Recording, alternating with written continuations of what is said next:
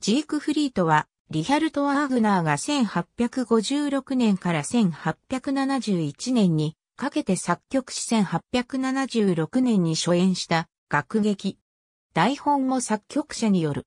ワーグナーの代表作である舞台祝祭劇、ニーベルングの指輪4部作の3作目にあたる。原案は、女児詩、ニーベルンゲンの歌及び、ドイツの英雄的主題、ニーベルンゲン伝説。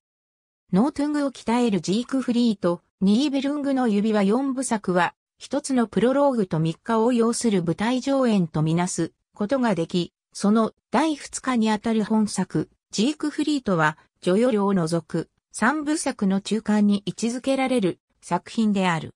指輪4部作はそれぞれ独立した性格を持ち、単独上演が可能である。ジークフリートは全3幕からなり、上演時間は約3時間50分。第2幕、第2話、森の囁きの音楽はしばしば還元楽のみで独立して演奏される。物語は、エッタ、ボルスンガサガなど、北欧神話の物語を軸にしつつ、ドイツの女児詩、ニーベルンゲンの歌をはじめとするドイツ英雄伝説や、ワーグナー独自の重層的、多義的な世界が構築されている。直接引用されてはいないが、ギリシア神話の影響も多分に見られる。ジークフリートの台本は1852年12月、音楽は1856年から1871年にかけてそれぞれ完成された。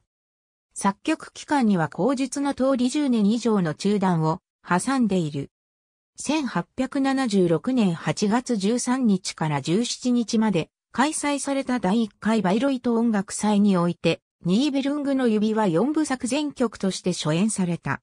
バイロイト音楽祭では4部作が連続上演される。内訳は以下の通り。ジークフリートの中断期間は1857年6月から1869年3月までの12年とされるが、上記のように手をつけている期間もあり、実質的には約10年である。集団の理由として以下の点が挙げられる。ワーグナーは1849年のドレスデン5月放棄に加担してチューリヒに亡命しており、ローエングリンはリストの尽力によって1850年に初演されたものの、その後は新作を発表できず、このままでは音楽界からも忘れ去られるのではないかという危機感があった。指輪4部作の構想拡大によって全曲完成の見通しが立たず、また仮に完成したとしても上演、出版のあてもないこと。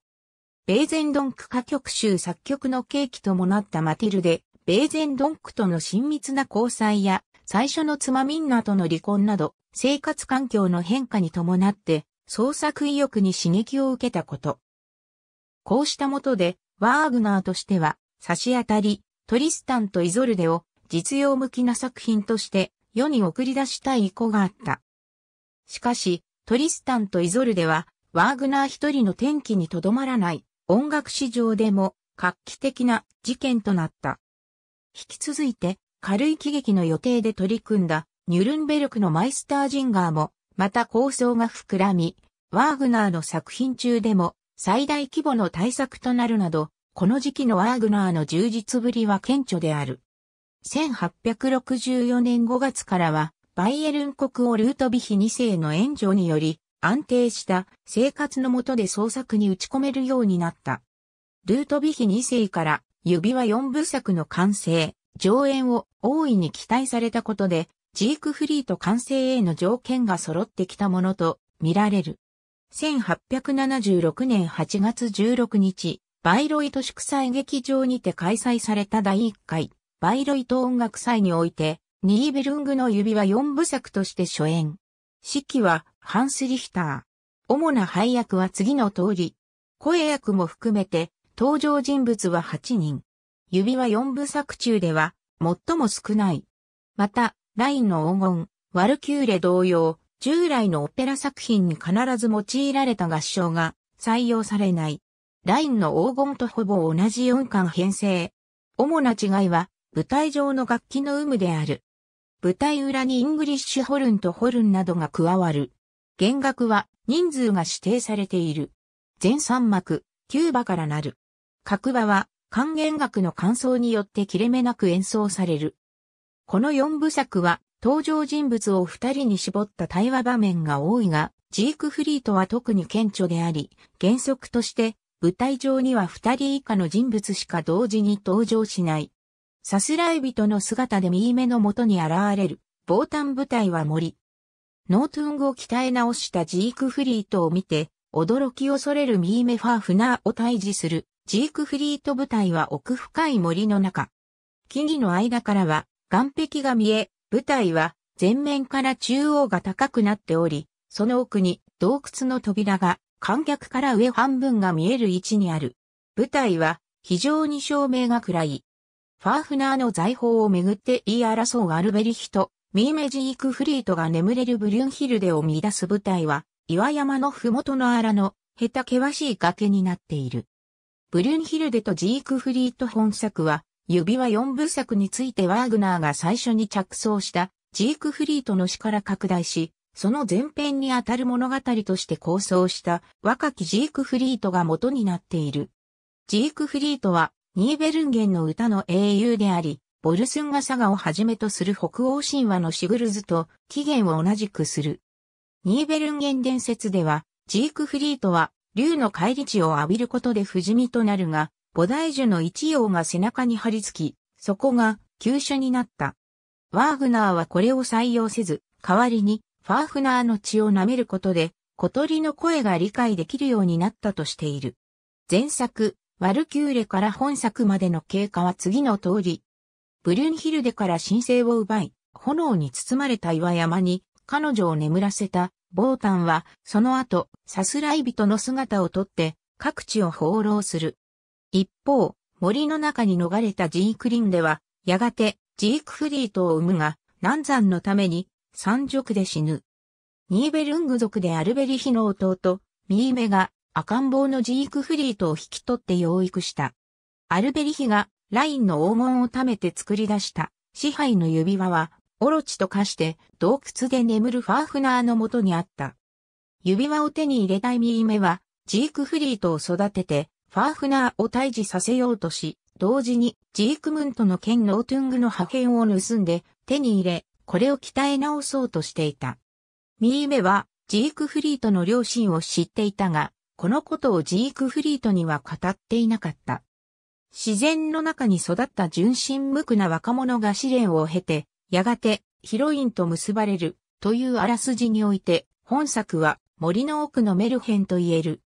ジークフリートが恐れを覚えようとして冒険するのは、グリム童話の怖がることを覚えるために旅に出かけた男、眠るブリュンヒルデに口づけして目を覚まさせるモチーフは、茨姫にそれぞれ結びついている。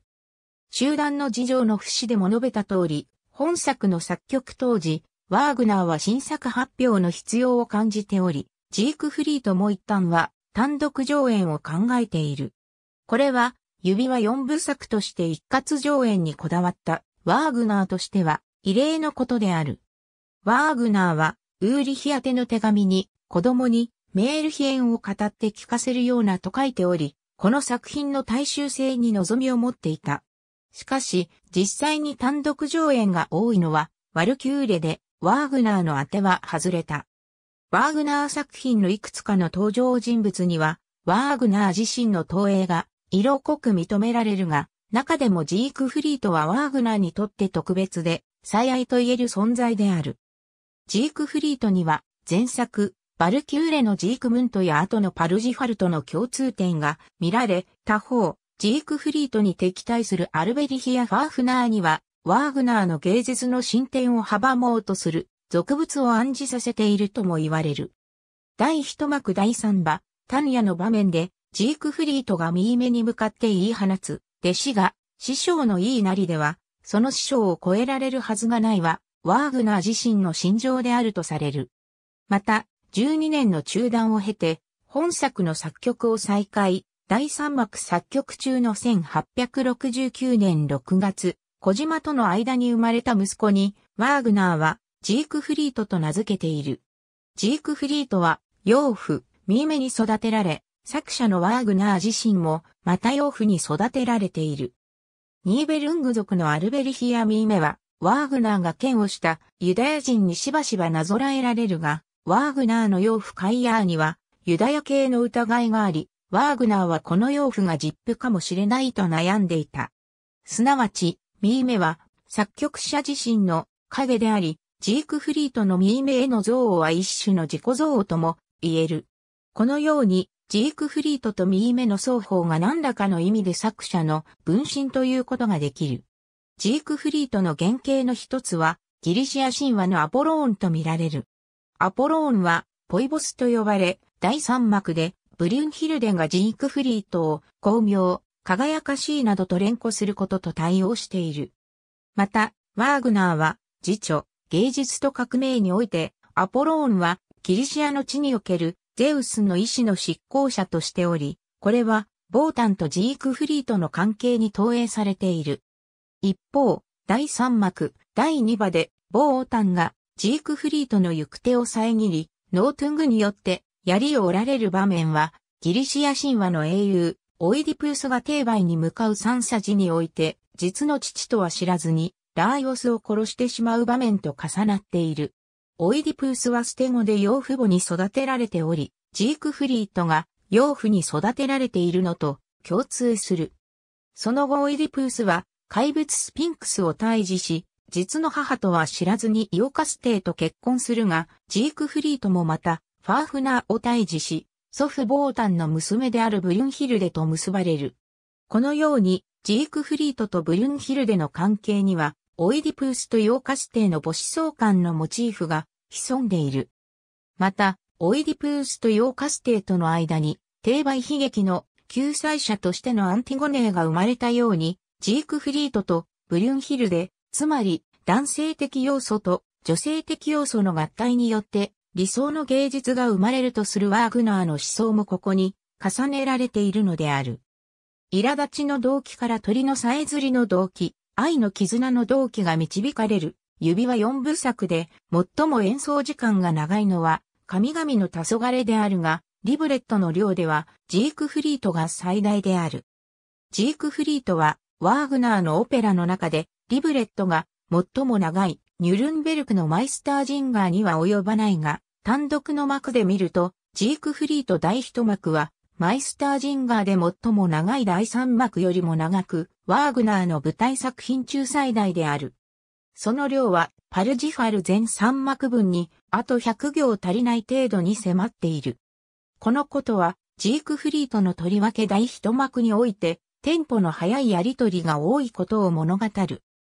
この中でワーグナーは、ジークフリートの歌唱やオーケストラに、聞き手の受任限度を超えるような動機の必要な反復を詰め込み、これによって英雄、ジークフリートの仕事がいかに人間業を超えたものであるかを強調している。また本作では音楽外の人物、事物、観念を特定するというライトモチーフ本来の用法を超えて純粋に音楽的な観点から簡単な動機を念入りに展開する公共曲の表現領域に踏み込んだものとなっている。例えば、第一幕で示される、苛立ちの動機の簡潔な音形は、小鳥のさえずりを表すモチーフとしても使用され、さらに第三幕では、愛の絆の動機に変容していく。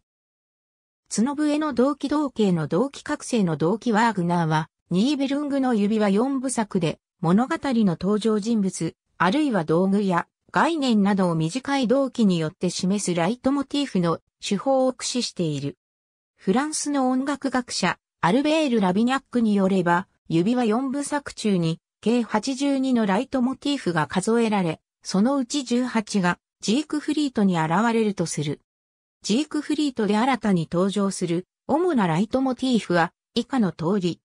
ジークフリートの音楽は、第3幕から画然豊かさとスケール感を増しており、第2幕と第3幕の作曲に12年間の中断があることが様式の不統一あるいはスタイルの変化につながったと指摘される原因となっている。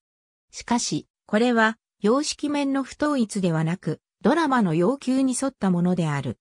第二幕までメルヘン仕立てだったドラマが、より大きな世界悲劇の中心に行き着いたことで、音楽もまた必然的に深みを増したものに変化している。